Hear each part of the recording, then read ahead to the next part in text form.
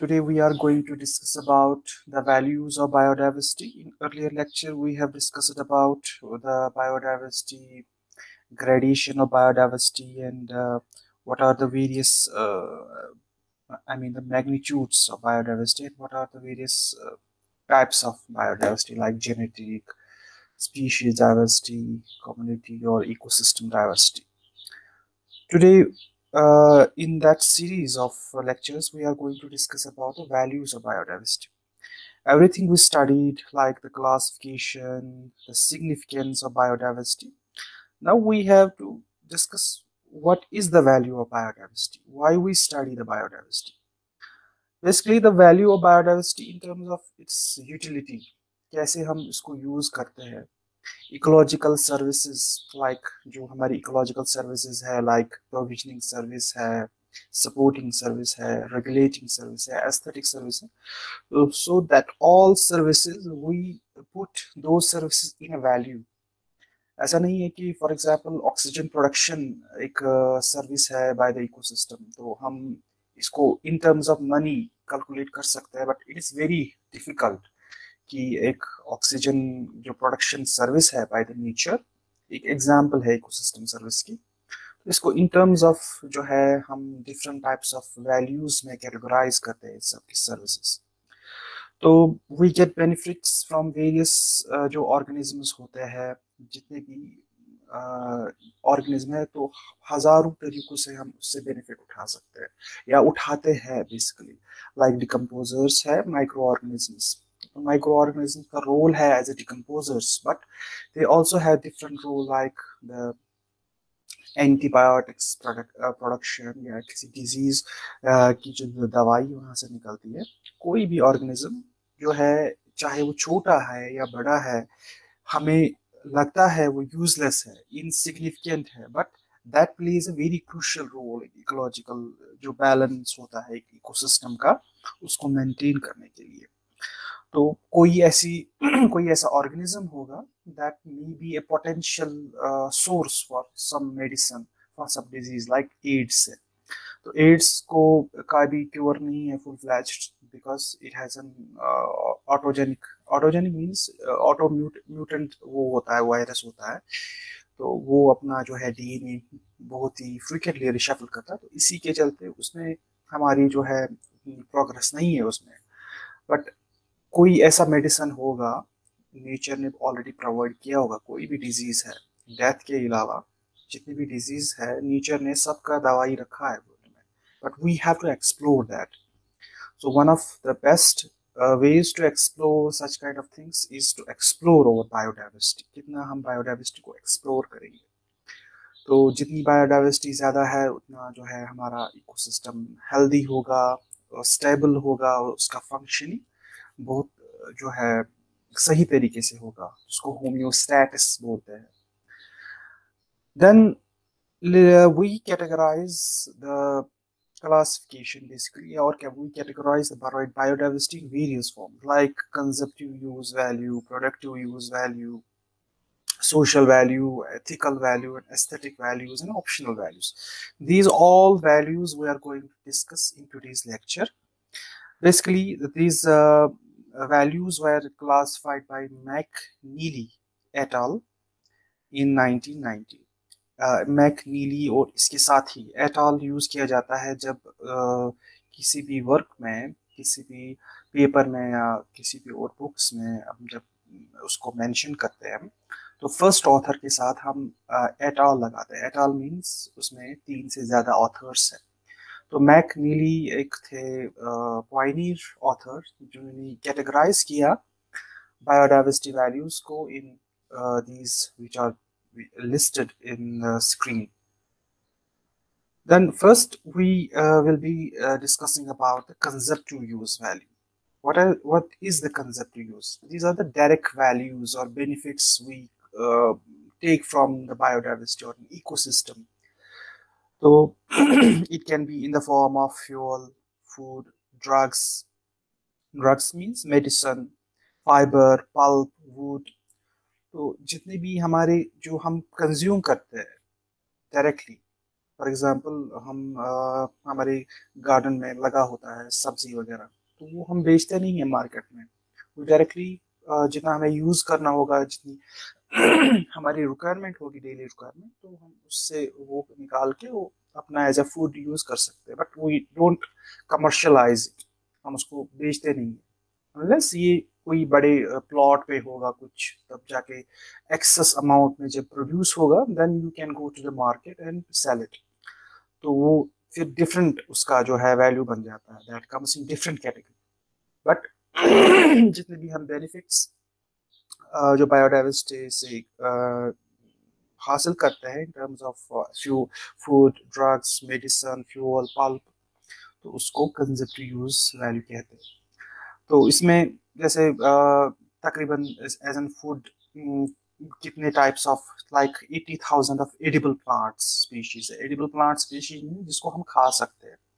जिसमें wild wild plant species भी है and then they are also domesticated जिसको हम एग्रीकल्चर uh, जो है सीरियल्स वगैरह कंज्यूम करते हैं and about 90% of the present day food crops have been domesticated uh, from wild tropical plants जो भी आज 90% ऑफ एग्रीकल्चर में प्लांट्स को ग्रो करते हैं so I was saying that जो आज प्रेजेंट डे जितने भी हम प्लांट्स को डोमेस्टिकेट करते हैं then 90% of that have came from the tropical plants जो बेसिकली हमारे जो क्लाइमेट्स होते हैं tropical subtropical and temporary type of climates जिनको बेसिकली जिसमें टेम्परेचर एंड ह्यूमिडिटी बहुत अच्छी होती है। बेसिकली डिफरेंट क्रॉप्स का सेंटर ऑफ़ ओरिजिन होते हैं। सेंटर ऑफ़ ओरिजिन वो कहाँ से आता है एंड देन वो कैसे इंट्रोड्यूस हुआ है इन वेरियस जो प्लेसेस या वेरियस कॉन्टिनेंट्स या वेरियस कंट्रीज़ जितनी भी आप जो प्लांट्स जैसे फ्रूट्स वगैरह खाता है you can search in Google centre of origin of apple तो आपको पूरा हिस्ट्री मिलेगा कि ये कहाँ से आया है। इसका वाइल्ड लाइफ वाइल्ड रिलेटिव्स कहाँ पे पाए जाते हैं। तो उससे आपको पता चलेगा कि प्रिमिटिव ज़माने में कैसे इनको इंट्रोड्यूस किया गया बट बाय वेरियस मींस चाहे वो मर्चेंट्स थे बाहर से ट्रेडर्स आते थे। तो ये तकरीबन 80,000 जो है हमारे edible plants you should remember this तो इसमें अब डिफरेंट जो है कंट्रीज़ या डिफरेंट स्टेट्स में डिफरेंट टाइप्स ऑफ़ जो स्टेपल फ़ूड होते हैं। जैसे हम कश्मीर की बात करते हैं वही mainly consume rice and in uh, Punjab, uh, Haryana, and uh, this Indo-Gangetic belt, to UP, Bihar, they mostly consume wheat in the form of chapatis. जो उनका स्टेप वो राइस बहुत कम खाता है and Bengalis also eat rice because it depends कि आपका जो है आ, कैसा वहाँ पे टाइप ऑफ़ प्रोडक्शन एग्रीकल्चर किस टाइप का है वैसे जैसे आप जाओगे पीरू ईरू में स्टेपल फ़ूड पोटैटो है। डिफरेंट कंट्रीज़ का डिफरेंट स्टेपल फ़ूड जैसे अमेरिका का है कॉर्न अमीज जिसको बोलते हैं। डिपेंड्स अपॉन कि उस लोकेशन पे कौन सा जो है क्रॉप ज़्यादा जो है प्रोड्यूस किया जाता है।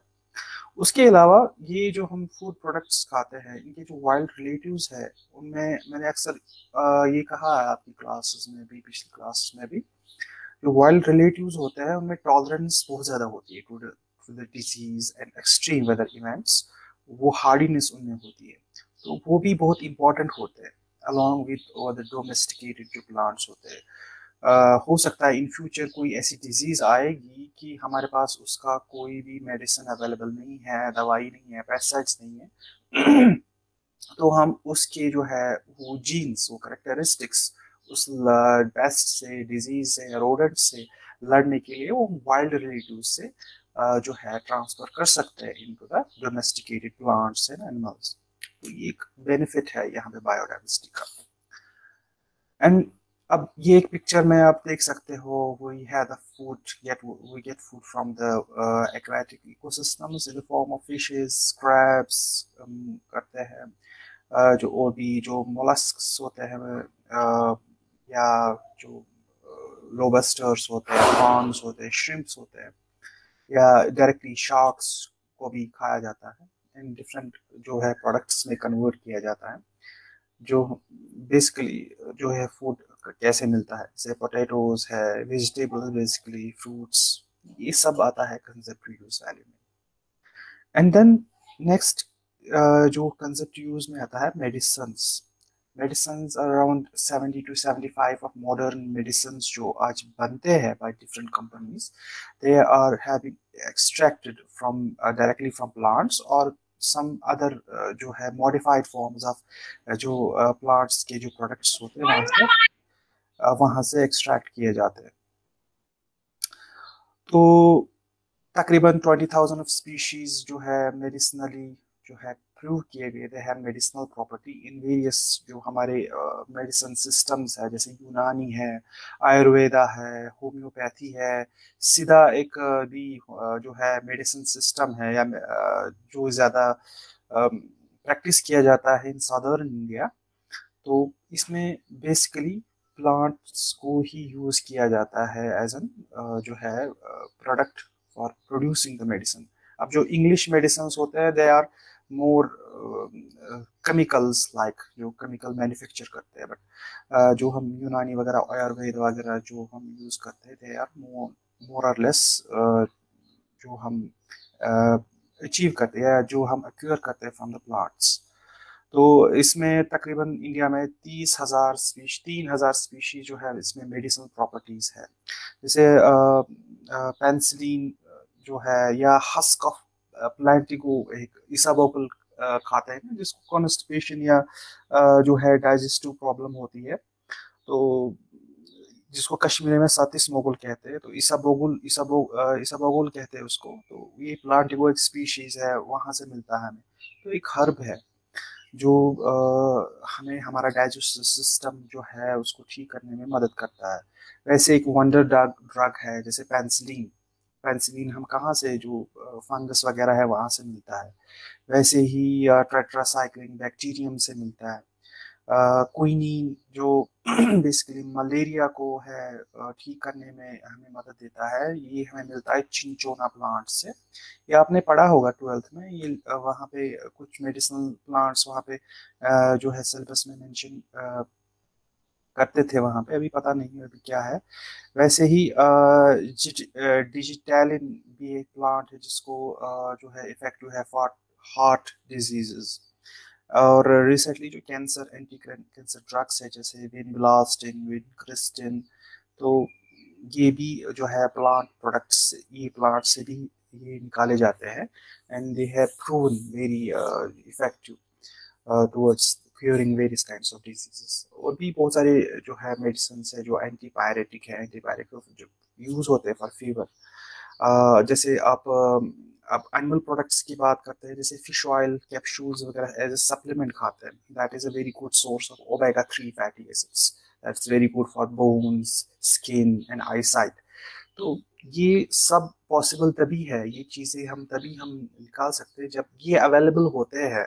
किसी इकोसिस्टम में बिकॉज़ किसी इकोसिस्टम में बायोडाइवर्सिटी होती है which have various kinds of plants and animals then और भी यहाँ पे मेंशन uh, किए गए हैं और भी डिफरेंट काइंड्स ऑफ़ जैसे रेस्पिरिन हाइपरटेंशन पेंसिलिन जो मैंने मेंशन किया मॉर्फिन ये पेन को किल करता है. पीपल uh, जो है ट्री है उसके trunk for curing fever antibiotic जिसको बोलते हैं कॉफिंग के लिए काम आता है स्टोमक स्किन डिज़ीज़ और भी बहुत सारे एग्जाम्पल्स है। There are an number of examples for the plants which have medicinal properties अब भी जो है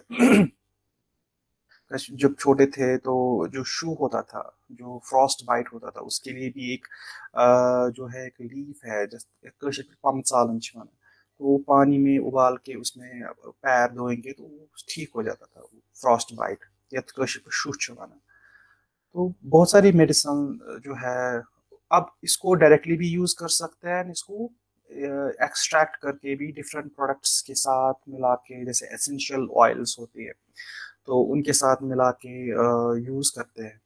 तो डिफरेंट तरीके हैं। वो डिपेंड करता है आप उसको कैसे यूज़ करते हैं। आप डायरेक्टली स्किन पे अप्लाई करते हैं, खाते हैं या कुछ और तरीकों से उसको यूज़ करते हैं। अब और भी है डिफरेंट काइंड ऑफ़ जैसे एलोवेरा ये तो आपको पता ही है स्किन के लिए काम आता है बेसल या बबरी भी बोल, उसको बेसल बोलते हैं, तुलसी का जो है सीड्स होता है, इसमें जो है पोल्यूशन को जो है, उसको कंट्रोल करने की जो कैपेबिलिटी है कोरिएंडर या दानवल मिंट मिंट या पुदन it is very beneficial for cough cold and diarrhea. Lemon grass इसकी भी properties है it is having antibiotic properties. अब नेक्स्ट जो हमारा कंसेप्ट यूज़ है that we directly use that is fuel fuel in the form of firewood जो हम directly plants या ट्रीज से एक्योर करते हैं फ्रॉम फॉरेस्टर्स तो जो भी ट्राइबल्स uh, होते हैं uh, जंगल में वो डायरेक्टली uh, जो जंगल में होते हैं, ये जो लकड़ी वगैरह जमा करते हैं, फिर उसको यूज़ करते हैं खाना बनाने के लिए, गर्म, गर्मी प्रोड्यूस करने के लिए, जो भी सिस्टम्स होते हैं घर में। उसके अलावा फॉसल फ्यूल्स जैसे कोल पेट्रोल नेचुरल गैसेस जो भी है, वो भी हमें एक कंजप्टिव यूज़ है फ्रॉम द इकोसिस्टम तो जो फायर फ़ूड होता है, ये नॉर्मली जो है हम मार्केट में नहीं बेचते। उसका जो है डायरेक्टली हम कंज्यूम करते हैं घर पे। तो उसको डायरेक्ट यूज़ वैल्यू भी बोलते हैं जो हम डायरेक्टली लाएँगे और घर में यूज़ करेंगे, उसको हम जो है, इस्तेमाल नहीं करेंगे। कंजप्टिव यूज़ मीन्स इसको हम मार्केट में थोड़ा सा बेच भी सकते हैं। Then next category is productive use value productive use value is the biodiversity product having an commercial value जिसका कमर्शियल वैल्यू होता है। जिसको हम बेच सकते हैं, उस, उससे हम अपना जो है बिज़नेस वगैरह कर सकते हैं। जैसे एनिमल प्रोडक्ट्स है सिल्क निकालते हैं हम सिल्क वर्म से, वूल, शीप से या गोट से निकालते हैं, मस्क निकालते हैं मस्क टेयर से टस्क जो हाथी के दांत होते हैं या राइनोसोर्स के होते हैं, वो सिंग होता है, वो जो है वहाँ से निकालते हैं। लेदर, हम डिफरेंट जो एनिमल्स होते हैं कैटल्स होते हैं या कोई और भी जानवर होगा, उसका जो है डायरेक्टली मार्केट में वो डिफरेंट तरीकों में यूज़ होता है। तो इसमें भी और भी है जैसे ये फिशेस वगैरह, जो कमर्शियल लेवल पे फिशिंग वगैरह होती है या समुद्र में सिल्क फिर उसको डिफरेंट जो है पर्पज़ के लिए यूज़ किया जाता है लेदर वगैरह टस्क वगैरह फॉर डेकोरेशन उसके लिए यूज़ किया जाता है। तो अब प्लांट प्रोडक्ट्स ये तो मैंने एनिमल प्रोडक्ट्स बताए थे क्या क्या निकलेगा एक प्रोडक्ट यूज़ वैल्यू में and then animal product plant products में भी जैसे वुड से पेपर हम निकालते हैं, जो हम यूज़ करते हैं कॉपी या जिसको हम वर्जिन पेपर जिसपे हम प्रिंट निकालते हैं प्लाई प्लाईवुड जो बनता है, यहाँ पे प्लाईवुड सबसे ज़्यादा बनता है फ्रॉम द पॉपुलस जिसको हम फ्रेश बोलते हैं पल्प जो अंदर का, जो ट्रंक का पूरा सा सेंटर वाला पोर्शन रहता है, उससे हम जो है, उसको पल बोलते हैं। रेलवे स्लीपर जो इंडस्ट्रीज़ वगैरह वहाँ पे वुड यूज़ होता है। और इसके अलावा हमारे घर में भी यूज़ होता है। जो खिड़कियाँ वगैरह बनती है, दरवाजे बनते हैं दैट ऑल जो है, हम वुड से ही बनाते हैं। फिर कॉटन कॉटन प्लांट्स जो है टेक्सटाइल इंडस्ट्री ये भी एक प्लांट प्रोडक्ट है। फ्रूट्स एंड वेजिटेबल बड़ी बड़ी मंडियाँ लगती है वेजिटेबल एंड फ्रूट्स की। तो उस पर कितने लोग जो होते हैं डिपेंडेंट होते हैं। उनका पूरा घर का जो है इकोनॉमी उससे चलती है। Leather ivory works pearl works पूरा जो है पेरल्स पर्ल्स होते हैं ना जो नीचे वो सी फ्लोर पे होते हैं जिसको क्या बोलते हैं उसको कोकल्स एंड काम्स वो पूरा शल होता है ऐसा मून शेपड तो उसमें उसको कल्टिवेट किया जाता है। तो उसको फिर वहाँ से पर्ल्स निकालते हैं। उसको खाते भी है वहाँ से पर्ल्स भी निकलते हैं, मोती निकलते हैं। तो उसके अलावा rice accounts for twenty twenty जैसे सीरियल्स है, जितने भी इंडिया में कल्टीवेशन की जाती है एग्रीकल्चर में twenty twenty two percent of जो क्रॉपर एरिया है, उसमें राइस ग्रो किया जाता है। Means it is also sold in the market market में सेल किया जाता है डिफरेंट लोगों को जो मतलब डायरेक्टली कल्टिवेशन नहीं करते हैं। और फिर अदर सीरियल्स जिसमें वीट मेज, बाजरा fox millet pearl millet sorghum जवार जो होता है, वो थर्टी नाइन परसेंट जो है क्रॉपिंग एरिया में आता है। उसके अलावा एक्सपोर्ट भी होता है। जैसे आप जो कश्मीर में एप्पल प्रोड्यूस होता है अब जितना भी एप्पल प्रोड्यूस होता है, हम उसको नहीं खाते। तो उसको डिफरेंट स्टेट्स में एक्सपोर्ट करते हैं या फॉरेन कंट्रीज़ में भी एक्सपोर्ट करते हैं। तो उसके अलावा जो ऑयल्स है एडिबल ऑयल सीड्स जब तिल को गोल तिल इसको भी एक्सपोर्ट किया जाता है। तो इसके ये सारे है productive use then next value is social use value of the biodiversity these are the values associated with the social life customs religion के साथ जो लिंक्ड है साइको स्पिरिचुअलिटी के साथ कनेक्टेड होता है। देयर इज़ जितने भी वर्ल्ड में फेथ है आई मीन रिलीजन्स है हर किसी रिलीजन में uh, जो है प्लांट्स एंड एनिमल्स का ज़िक्र है। जैसे कुरान में भी है। There is an list of plants and animals mentioned in the Quran and से लेके एलिफेंट तक फॉक्स uh, वुल्फ बहुत सारे हैं। मीन्स कि इनका फिर एक जो है स्पिरिचुअल वैल्यू सोशल वैल्यू भी बनता है। कि ये किसी रिलीजियस स्क्रिप्चर में मेंशन किया जैसे हिंदूज के लिए भी बहुत सारे प्लांट जैसे तुलसी है पीपल है लोटस है, उनके लिए बहुत सैक्रेड है। तो इनका जो है एक सोशल वैल्यू है। ये लिंकड है डिफरेंटली ना ये प्रोडक्टिव यूज़ वैल्यू में आते हैं, ना कंजेप्टिव यूज़ वैल्यू में आते हैं। But they have different kind of value इसको हम सोशल वैल्यू बोलते हैं। उसके अलावा जैसे हिंदूज में काव उसको होली मानते हैं स्नेक्स वगैरह को भी पूजा करते हैं। और डिफरेंट कंट्रीज़ में अपनी फेथ के हिसाब से उनके अपने जो है जो है उसमें लिंक्ड है देयर रिलीजन तो उसके अलावा जैसे ये मैंने कहा, ये तुलसी है, पीपल है, बहुत सारे ये लोटस है तो ये सब लिंक्ड है टू द सोशल फिर इसके ethical values means ethical value हमारा ऐसा कुछ नहीं है कि वो एग्जिस्ट करता है या नहीं करता है बट उसका एक एग्जिस्टेंस वैल्यू होता है। It involves the all life ये एक कंसेप्ट पे डिपेंडेंट होता है वैल्यू कि ऑल जो लाइफ है अर्थ पे, इनका जो है प्रिजर्वेशन इंपॉर्टेंट है कि all life must be preserve ये नहीं पता है कि अभी हमने इसको एक्सप्लोर नहीं किया अच्छे से बट हो सकता है फ्यूचर में ये किसी काम आ जाए हमारे। तो उसमें इथिकल वैल्यू बोलते हैं। एक तो उसका जो राइट होता है चाहे वो प्लांट है या एनिमल है उसको एग्जिस्ट करने का राइट उस, उसकी एग्जिस्टेंस का राइट होता है उसके पास। उसके अलावा इसका ये ये भी वैल्यू है हो सकता है हमारे फ्यूचर में काम आए। जैसे हमारे पास कितने भी एनर्जी रिसोर्सेज है uh, हमने सर्वे भी किया है but we don't have technology to explore और टू यूज़ दो काइंड ऑफ़ एनर्जी रिसोर्स जैसे हाइड्रोजन है पूरा कमर्शलाइज नहीं हुआ हुआ एज एनर्जी रिसोर्स वैसे ही भी uh, कुछ प्लांट्स है एनिमल्स है जिनका जो है अभी पूरा से एक्सप्लोर नहीं किया गया है किस ये यूज़ होगा। जैसे हमारे पास कितने भी प्लांट्स एनिमल्स होते हैं हो सकता है कि उनमें से कोई ऐसा प्रोडक्ट है कि वो कल जाके किसी डिज़ीज़ के काम आ जाए या उसका कोई ऐसा इकोलॉजिकल रोल है किसी इकोसिस्टम में जो हमने पूरा आइडेंटिफाई नहीं किया, अभी एक्सप्लोर नहीं किया, हो सकता है उसके चले जाने से वो पूरा इकोसिस्टम ब्रेक हो जाए। तो जो इकोसिस्टम ये पूरा जो इसके वैल्यूज़ है, ये ethical value direct indirectly link होता है ये रिलीजियस टू कल्चरल ये किसी पुराने ज़माने में कहाँ कहीं मेंशन किया होता है तो इसका एक इथिकल वैल्यू भी बनता है तो अब इसके एग्जांपल है फॉर एग्जांपल रिवर गंगा को होली माना जाता है बट उसमें भी डिफरेंट काइंड ऑफ़ बायोडा डॉल्फिन होते हैं वहाँ रिवर गंगा में, जो अक्सर आपने सुना होगा, उसमें डॉल्फिन भी होती है। वे तुलसी, ये भी जितने भी तमिलियंस होते हैं साउदर्न इंडिया में उसको जो है पूछते हैं वो, कैंगारो, जेबरा जिराफ, इनको मतलब इनका जो है कंजर्वेशन जैसे ऑस्ट्रेलिया में कैंगरों को कंजर्वे कंजर्वेशन में उसका बहुत जो है मतलब बहुत सारी उसने स्ट्रेटजीज बनाई है। चाइना में पांडा की चाइना में पांडा को अगर आप वहाँ से खरीदते हैं तो वो होल एंड सोल प्रॉपर्टी रहती है उस कंट्री की, चाइना की। वो कभी भी आपको मांग सकते हैं वापस, क्योंकि उन्होंने उसको एज एन इथिकल वैल्यू अपना स्टेट जो है एनिमल या कंट्री का जो है नेशनल एनिमल बना दिया। तो ये सब आते हैं इथिकल वैल्यूज़ में।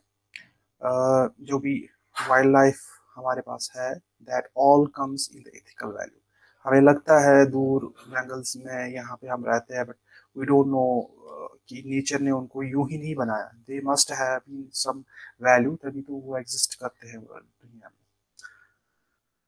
And then is aesthetic value aesthetic value is uh, the means कि attach to the biodiversity and is gives pleasure ये एक ऐसा वैल्यू है बायोडाइवर्सिटी का जिससे हमें प्लेजर मिलता है पीस ऑफ़ माइंड मिलता है एक्साइटमेंट मिलती है और हम we feel like an appreciation जब भी आप किसी भी टूरिस्ट स्पॉट पे जाते हैं for example then you feel like आपका जो है माइंड फ्रेश हो जाता है। वहाँ की बायोडाइवर्सिटी को देखते हैं जैसे आप किसी भी टूरिस्ट स्पॉट पे जाएँगे कश्मीर में। या त्राल में भी हम कभी कभी जाते हैं वहाँ पे तो बहुत घने घने जंगल है तो वहाँ पे जाते हैं तो यू फील रिलैक्स्ड आप वहाँ पे बैठते हैं खाना वगैरह खाते हैं कुछ देर अपने आप को जो महसूस करते हैं। आप कोई आ, काम कीजिए किसी फॉरेस्ट में वो काम घर में भी कीजिए आप देखिए कि आपकी इफ़िशेंसी कितनी बढ़ेगी। वहाँ पे कितना कामनेस होता है साइलेंस होती है। पूरा दूर रहते हैं आप शोरगुल से तो ये पूरा जो है एस्थेटिक वैल्यू में आता है। फिर हम ये सब चीज़ें जब देखते हैं कि ये हमें पीस ऑफ़ माइंड देता है प्लेजर देता है एक्साइटमेंट देता है, हम इसकी कंजर्वेशन के लिए कितना दे सकते हैं? उसको विलिंगनेस टू पे बोलते हैं। विलिंगनेस टू पे ये एक मीन्स कि फॉर एग्जांपल मेरे पास कोई आएगा कोई ऑर्गेनाइजेशन आएगी कि आ, मैं श्रीनगर में रहता हूँ मुझे कोई ऑर्गेनाइजेशन आएगी कि दाचिकाम नेशनल पार्क में हांगुल को प्रिजर्व करना है। अब आपको कुछ कंट्रीब्यूट करना है डोनेट करना है कि ताकि उसको हम कंजर्वेशन स्ट्रेटजी में वो पैसा इम्प्लीमेंट कर सकते हैं। तो अब मैं मेरे पास आ, मेरे जहन में मेरी नॉलेज और बैकग्राउंड को लेके मैं उसको कितना वैल्यू करूँगा? उसको विलिंगनेस टू पे कहते हैं। कोई कहता है, नहीं है मुझे ज़रूरत नहीं है, वो रहे ना रहे, मुझे कोई फ़र्क नहीं पड़ता है। अब जैसे आप स्टूडेंट्स है, आपने एनवायरमेंट स्टडीज़ पढ़ा है you know the importance of biodiversity you know the importance of wildlife definitely you will आप, अगर आपके पास होगा भी नहीं, फिर भी आप जहन में रहोगे कि हाँ अगर मेरे पास पैसा होता तो I must be contributing this one अगर आपके पास पैसे नहीं still I want to contribute as an service अगर कोई ऐसा प्रोग्राम चल रहा है कंजर्वेशन वाला वाला प्रोग्राम चल रहा है। I want contribute as an volunteer in that service तो इसको विलिंगनेस टू पे बोलते हैं। और इसी से हमारा जो है इको टूरिज़्म का कंसेप्ट निकला है। पीपल जो है फॉर प्लेसेस से आते हैं स्पेंड टाइम करते हैं वहाँ पे विज़िट करते हैं एंजॉय करते हैं।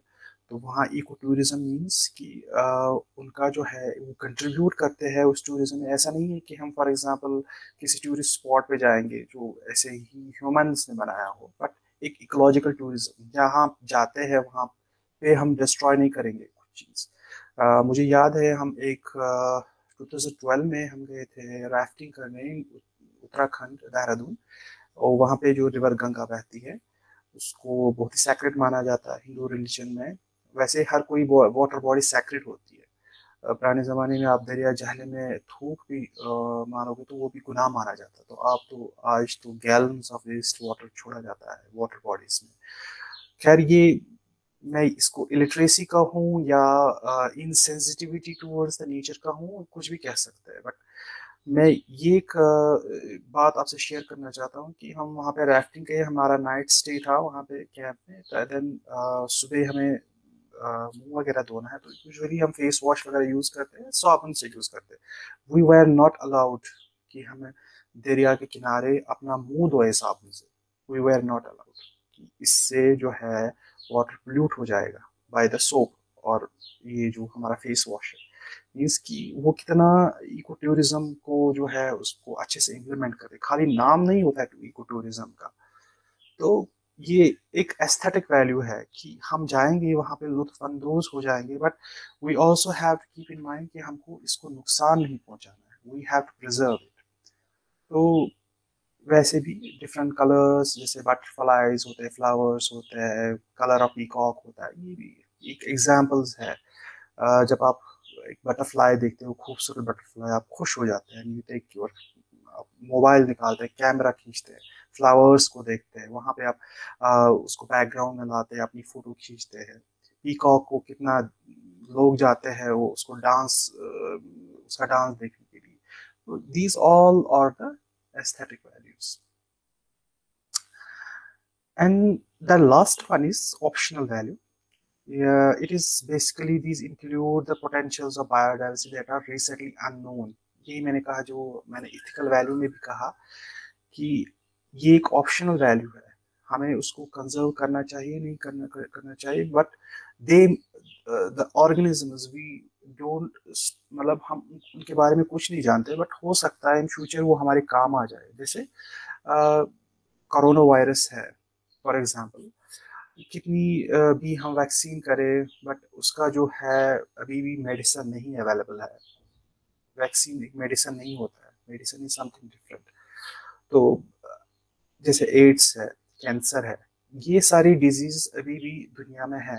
डिज़ीज़ जैसे कैंसर है, इसमें भी जो है बहुत सारी डेवलपमेंट्स हुई है, बट उतना भी डेवलपमेंट नहीं हुआ कि एक आम लोग उसको परचेज कर सकते हैं। बहुत ही महँगा होता है। तो हो सकता है कि कोई स्पीशीज आगे जाके उसमें से कोई ऐसा प्रोडक्ट निकले, उसको हम एक्सप्लोर करें। उसमें कंटिन्यूस जो होती है, रिसर्च होती है, डेवलपमेंट होती है कि वहाँ से कोई हमें ऐसा दवाई निकले कि वो हम यूज़ कर सकते हैं, जो हमारी डिज़ीज़ है, जिनके पास अभी कोई जो है मेडिसिन अवेलेबल नहीं। तो उसके अलावा हो ये मैं यही कह रहा था कि किसी फ्यूचर में हमें जो है अवेलेबल रहेगा, उसका जो है यूज़ हो सकता है बाय रिसर्च एंड डेवलपमेंट तो उसके अलावा इंडियन इकोनॉमी में भी जो हर्ब्स है या मेडिसिनल प्लांट्स है they play very important role तो यहाँ